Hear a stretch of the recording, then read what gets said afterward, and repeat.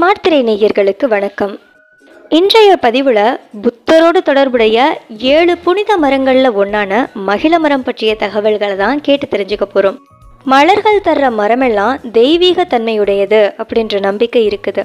வியாழக்கிழமையில மகிழ மரத்தை வணங்குறவங்களுக்கு அறிவு தெளிவு உண்டாகும் அப்படின்னு பண்டைய சாஸ்திரங்கள் சொல்லுது. புத்தருடைய வாழ்வில் தொடர்பு இருக்கிற ஏழு புனித மரங்களில் ஒன்று தான் இந்த மகிழ மரம்.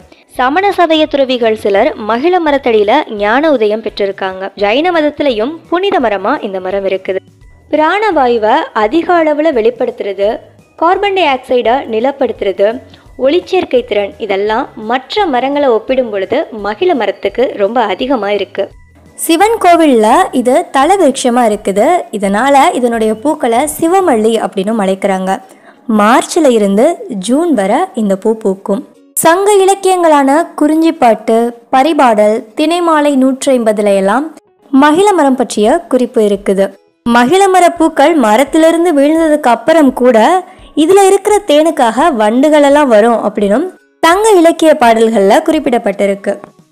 வாஸ்துபடி வீட்டினுடைய கிழக்கு பகுதியில் மகிழ மரத்தை வளர்க்கலாம்.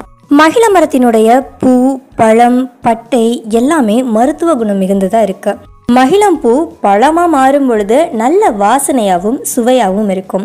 மகிழம் பழம் சாப்பிட்றதுனால ஒற்றை தலைவலி குறையுமா தசைகளில் இறுக்கம் தளர்ந்து தலைவலி நீங்கிறதோட நல்ல தூக்கமும் வருமா இந்த பழங்கள் சாப்பிட்றதுனால மன அழுத்தம் மனசோர்வு நீங்கும்னு மருத்துவ நூல்களில் குறிப்பு இருக்குது.